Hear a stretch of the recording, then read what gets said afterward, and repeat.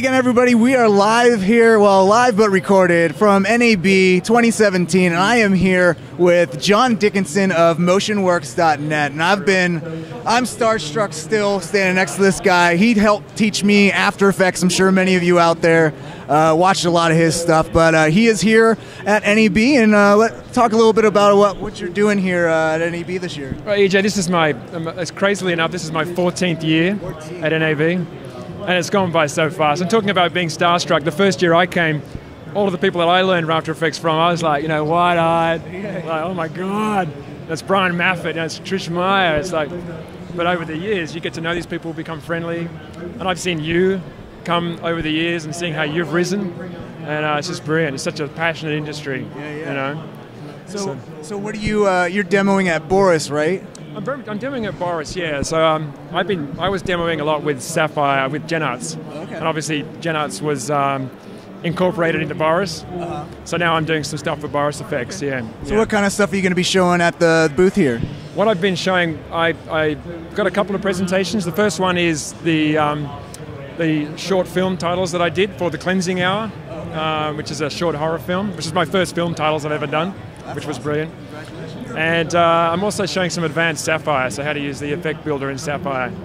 Uh, yeah. So you've been posting a lot of progression of your 3D modeling skills, and you released Make It Look Great 11, right? That is, I think, is hands down the best resource to learn 3D modeling in Cinema 4D. It's really a, a an area that was really lacking. You guys really filled in that hole really, really well. So, uh, talk about your decision to you know make that uh, Sure, sure. make that series and how you wanted to get yourself into 3D modeling as well. When I first started in this industry, this was back in the early 90s. Uh, our motion graphics and 3D were kind of related, but not the way they are now, not with the way motion, the motion graphic artists have to know 3D now, and that wasn't the case. So I really, literally had a fork in the road.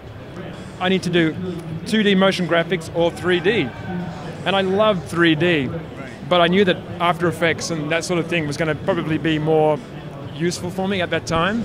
And then finally, after the years, you know, Cinema 4D became really big, and motion graphics started to use a lot more 3D. So they, you know, both paths converged. And I always loved modeling. I was always fascinated by creating things in 3D because, after all, in 3D, the model's everything. You haven't got a model in your scene, you haven't got anything. But so being able to actually build my own stuff was really intriguing for me. And it is, it can be very tricky, right? And I watched a lot of tutorials, so many Cinema 4D tutorials that I kind of ran out. And I was starting to watch my tutorials and Max tutorials. And I realized that there was a real gap in the industry, especially for Cinema 4D, as far as uh, Cinema 4D modeling training. And while I was learning, because I, I decided when I very fir- first started modeling, I was going to build a Beretta pistol. And I, I always bite off more than I can chew because I think, I want to model that. And I get into it, get through it, and I was like, oh my God. And just the little tiniest thing, I'm thinking, how do I do that? But obviously, with Twitter and, and the helpful community, I just asked. And a guy called Toby Pitman, he's a insane guitarist, and, and he does music as his career. But he's an insane 3D modeler, which he does as a hobby in the evenings. He sent me a video. This is how you do it. He's lived in England. I never met him in person. And um, I knew as soon as I watched that video that this guy has some skills. So it took me about a year and a half, maybe two years, to convince him to do some training. And what ended up coming out of that was making it look great 11, which is like 24 hours of hard surface modeling training. And it covers all the things. I mean, when I watched it, I realized how much I didn't know.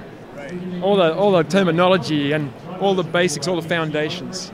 Once you watch that, you really have everything you need to really advance in hard surface modeling in uh, Cinema 4D. So So, what do you think was the hardest concept to learn to, to get to really get like? Did you have a moment where you like all this makes sense with 3D modeling? Was there that like eureka moment? Is- There's been a few. There's been a few. Um, one of them, one of them is funny. I was talking to Toby, and when you're when you're modeling, you're looking at a mesh, and you're making cards.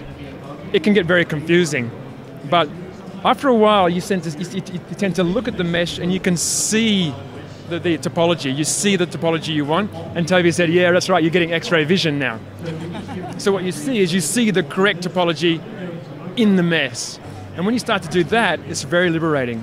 But I think even before that, when I first started modeling, the scariest part was making something editable. Because when you start modeling, right, you're using parametric objects, and you go, oh, I can do an extrusion, or I'm using a spline and I'm extruding that. As soon as you're, it's like being in a swimming pool in the deep end and you can't swim. You kind of, you're kind of holding the side. You don't want to let, you don't want to let go, right? Because you do, oh, oh, oh, oh, you know, if I make that editable, I'm going to be in trouble. What if I get it wrong? What if, how am I going to go back? As soon as you start being comfortable with making things editable and adding knife cuts and, and being comfortable with working with topology, that's when it, things start to make sense. You just got to you got to get in there and not be afraid, but also keep lots of versions. You know. Yeah, yeah, yeah. You always make copies of copies of copies. Oh, absolutely. Like and you've got a plugin that does that, right? Yeah, yeah, actually, yeah. Uh, storage bin. Storage bin, that's right. States and as you, uh, yeah, so yeah. That's right. I love to, love to see the feedback. Absolutely. So you're on your uh, Twitter page. You've been posting prog- uh, your progression on certain modeling projects and stuff like that. So uh, tell us a little bit about uh, what, why, how you decided to do that and what you're working on now. Well, I've always, you know, I've had MotionWorks for a long time, um, which is my website, and I've always been passionate about sharing what I learn. And I've never really, I've never got out there and said I'm the expert.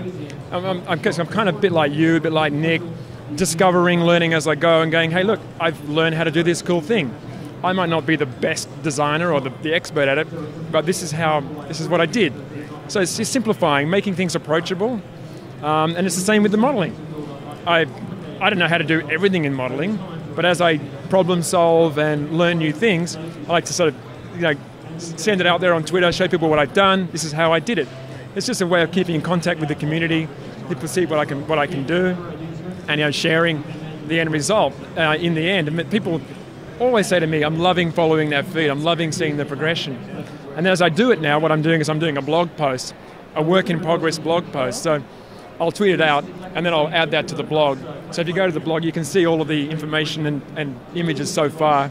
And then at the end, you'll see the final, you know, textured, finished piece. So you can find that on motionworks.net. You're posting all the blog posts on there as well. And it's journey of discovery. I'm learning how to UV unwrap, you know, using things like 3D coat. I'm learning Substance Painter, um, all of these, all of these fantastic programs. Are you planning on doing any kind of training content for those kind of applications? The, are you guys planning on releasing another modeling series that builds upon that? So, Toby actually taught me a little bit of Cinema 4D, UV unwrapping, and of course it's BodyPaint. And those who know, know that it's a little old, it's not easy to use, it makes UV unwrapping painful. So I explored and I found 3D coat was, was an option. And um, I've already done a small tutorial on what I learned partly for everyone to learn, but partly for me to remember next time I have to do it. You know, you record tutorials as a reference for yourself. Um, but uh, we talked about doing some sort of UV course, but I think we're really going to wait and see what Maxon comes up with, you know, with with their newer versions when they come out. But I know that there's there's a big gap in UV working with UVs in cinema. Uh, totally. But you feel you feel powerful when you know how to do that. When you get a really great UV map and you realize that you can put textures where you want, then you feel great. But building the model from scratch, that's the thing. When you've got a great model, it's got really good UV mapping, it's got terrific textures, lots of detail. Uh, it's you know I can't think of doing anything I'd prefer to do.